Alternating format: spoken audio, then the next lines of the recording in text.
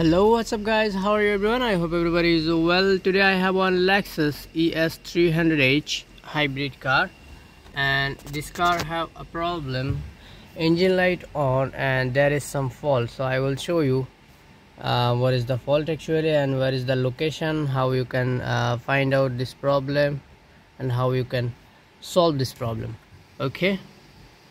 So now i diagnose uh, with my tool. You can see here engine there is one fault so I see what is the fault first.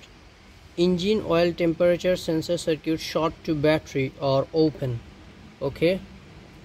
Uh, fault code is P019515 this is the problem. So today I will show you engine oil temperature circuit.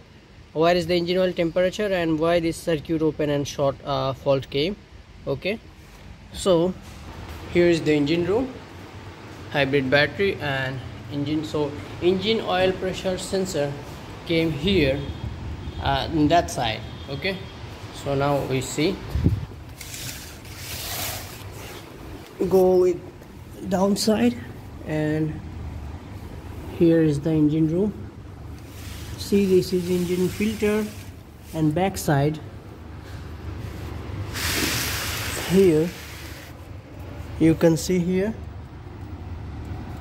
there is a sensor. See this is engine oil pressure sensor this one. This sensor. See here? So what is the problem? You can see here.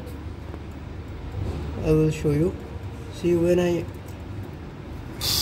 remove you can see this white wire. It's damaged. See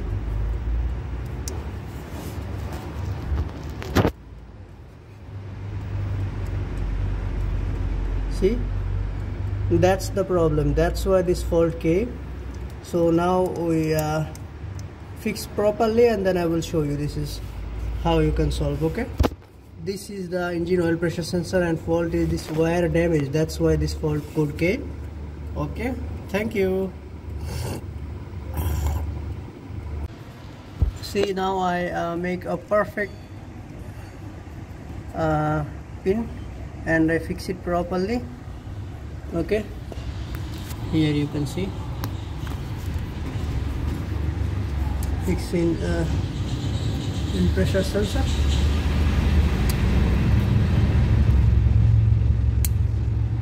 See?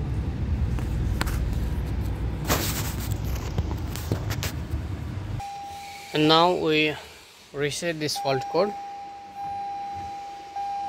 and see if it is perfect. See now there is no fault in engine. Trouble code trouble code are not detected. Great success. Start car.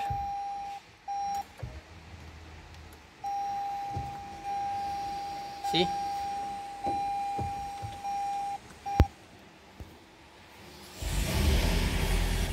There is no warning light. Everything is perfect okay? So if my video helpful for you please subscribe my channel. Thank you